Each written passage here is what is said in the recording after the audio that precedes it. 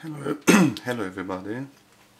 This is Daniel Los. So let's see another firmware installed on the Rikomagic MK802 version 2 stick. This is uh, Kimdecent Droid Stick T3 firmware.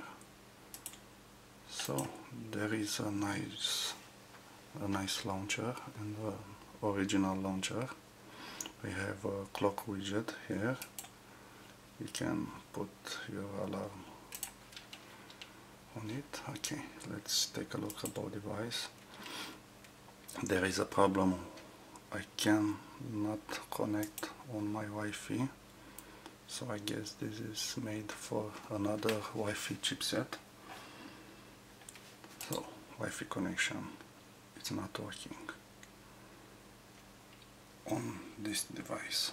Okay so it won't turn on.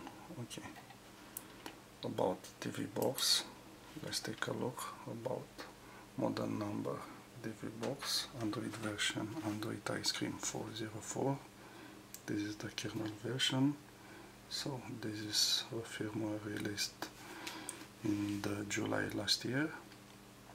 This is the build number okay let's take a look on the application installed so we have GApps